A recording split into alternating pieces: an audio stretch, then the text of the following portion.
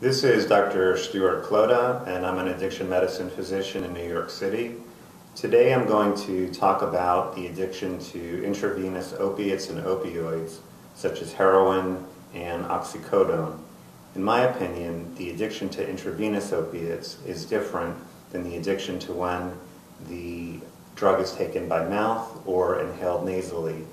Many patients have described to me the entire process of injecting as being equivalent to a sexual experience or even better.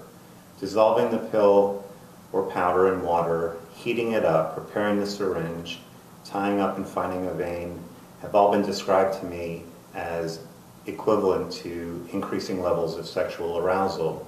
Getting the flashback of blood into the syringe and injecting the drug is equivalent to climax. This makes for a highly powerful psychological experience, is extremely reinforcing, and promotes urges and cravings to use more and more. In addition, the bioavailability of intravenous opioids is 100%. This means that the entire amount of the drug is available to exert its effects.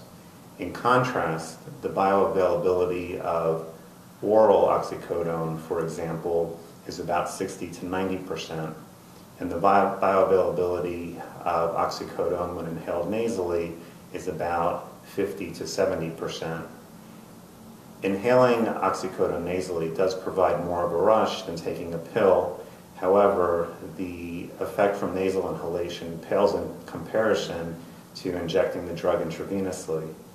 If you have any questions, you can give me a call at 646 713 6578. Thank you.